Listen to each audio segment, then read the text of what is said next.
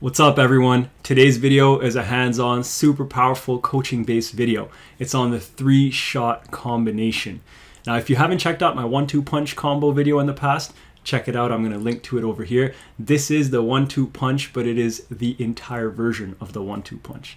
Now as always, if you haven't done so, please subscribe to the channel. Please like the video if in fact you do like it, and leave a comment about what you think of the content in this video, as well as the impact of some of these coaching tips when you actually go and practice it yourself.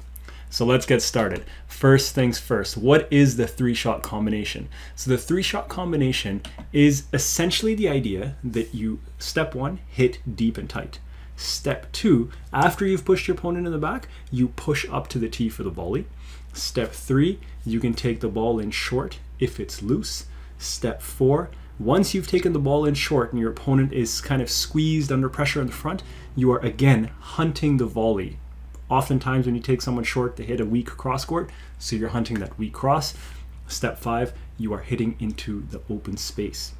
Now, one really, really critical thing that I'd encourage you guys to think about, and the reason I said this is the follow-up to the one-two punch combo video, is because it is always the shot before that really has an impact. And here's what I mean. You know, oftentimes we see highlights of matches and you see the person ripping this wicked cross court nick. Well, what allowed them to create the opportunity to hit that winning cross court nick? It was more than likely the shot before, which is probably a tight length into the back of the court. Or maybe it's a tight drop shot that they played where they squeezed the opponent that forced the loose ball, allowing the winner. So always look at the shot before the finishing shot to see what actually allowed the player to get that opportunity and put the ball away in the fancy, amazing way that they did.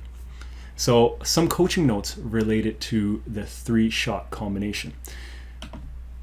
It is simple, it's a simple idea, but it is not easy. So it takes a lot of practice. And the thing is, and this is my note at the bottom, that your fundamentals create options.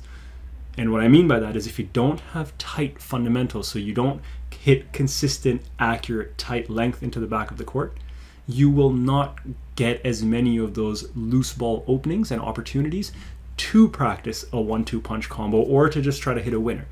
Now, obviously, depending on your level, if you're at a lower level, you will get more loose balls relative to someone who's at a higher level.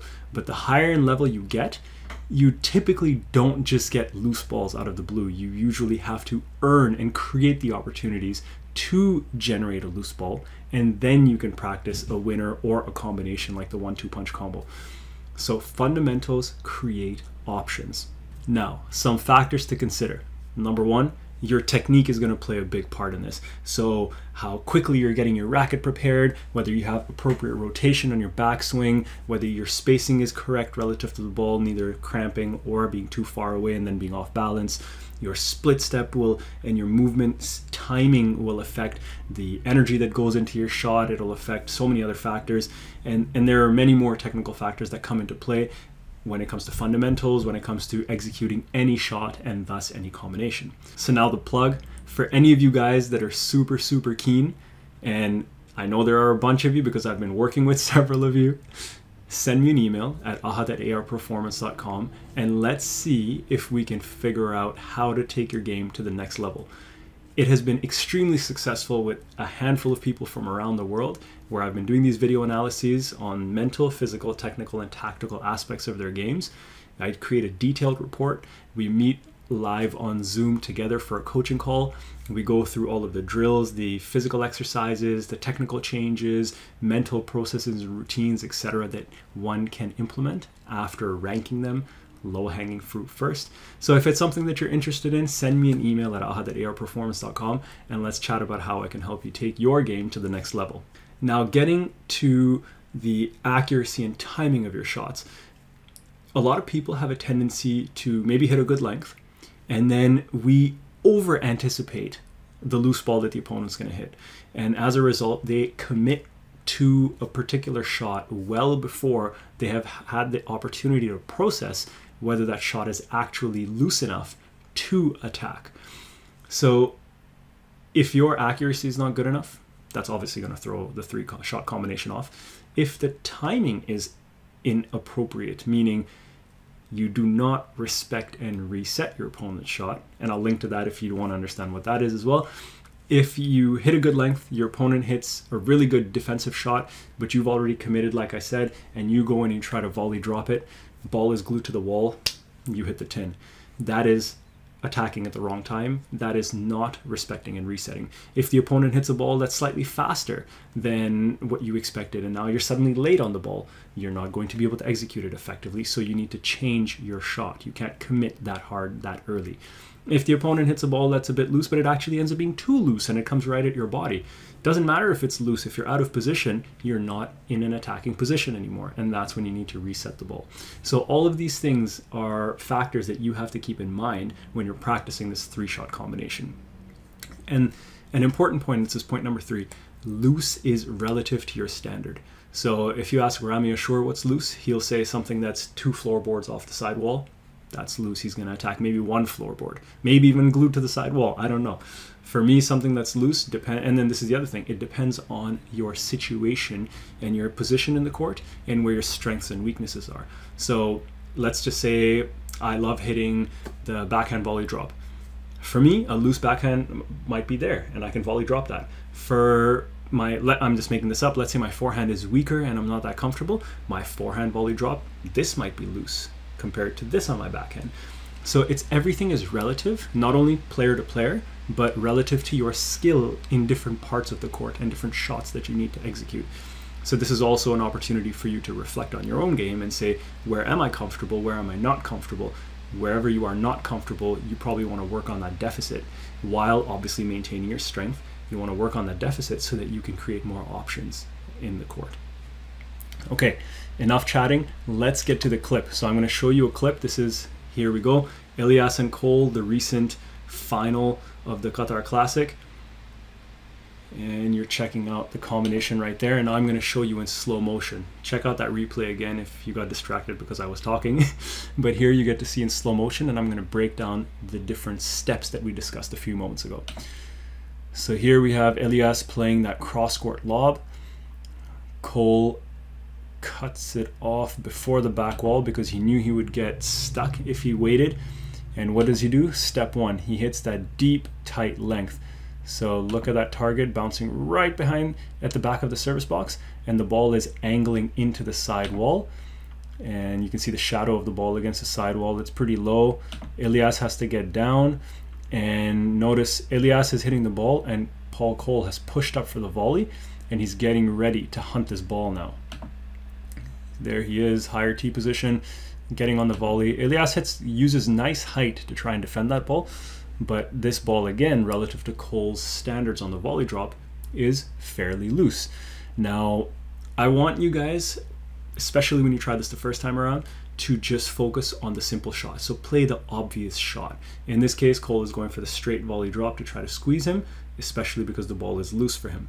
Now, if I said, as I noted before, if Elias's defense was too good, Coll might look for the volley drop, but then he has to respect and reset by saying, I can't attack that ball because it's too tight. So either I push it back and wait for a better opportunity, so you reset or rally the length, or he might even if it's glued where he was going to volley then he might have to let it bounce and push back and then hit it before the back glass so now in this case oh and then the advanced part that i noted here break the pattern would be if Coll has already played that straight drop several times Elias will be moving towards the front right because that's the shot that has now been imprinted in his brain. So after you do that several times, Coll may choose to hit show the straight and then hit the cross court drop and then Elias would be moving to the front right and the ball would be going to the front left.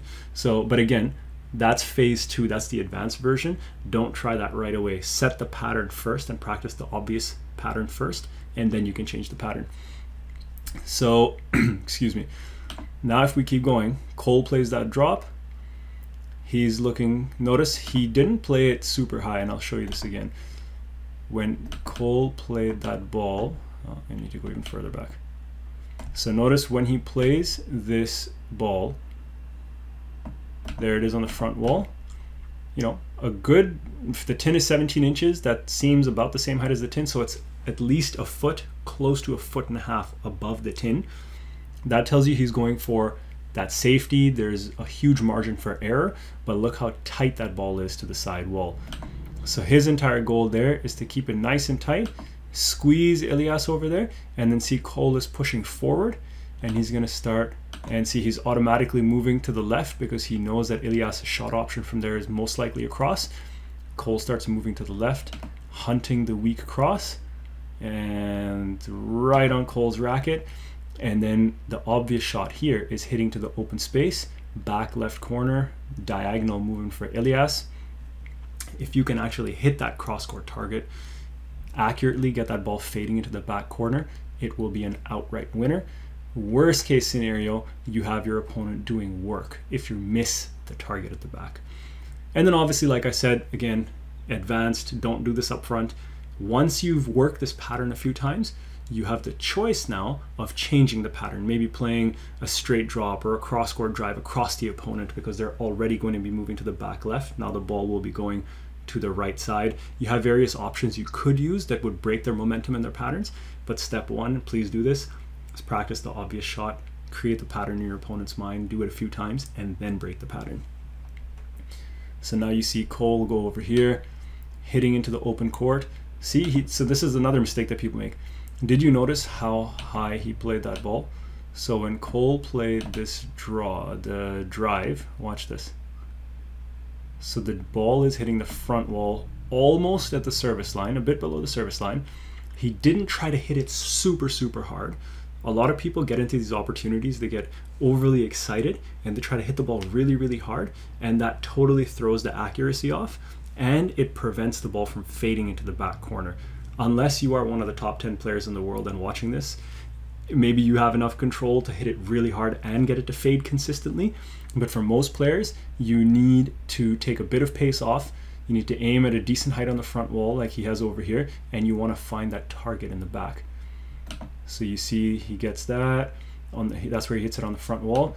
And then the first bounce is here behind the back of the service box and the ball is dead in the back. And what is the reward? Look at that fist pump. That's your reward. You win the point outright when you find that target accurately. So, ladies and gentlemen, I wanted to try my best to keep this short and sweet and very impactful for you. I hope you take a lot away from the power of fundamentals, the possibility of reducing pace to find your targets effectively, playing the simple shot and hitting to the open space, it, if you can put those pieces together, even without breaking the pattern, even without using excessive deception, you will be winning more points and or you will be putting more work into your opponent's legs. So I hope you take this to heart. I hope that you go and practice this as always. And as I mentioned before, like the video if you actually like it, leave a comment, tell me what you thought of it, subscribe to the channel if you haven't, and please share it with at least one friend who would appreciate and enjoy this. Thanks guys, and I'll see you in the next video.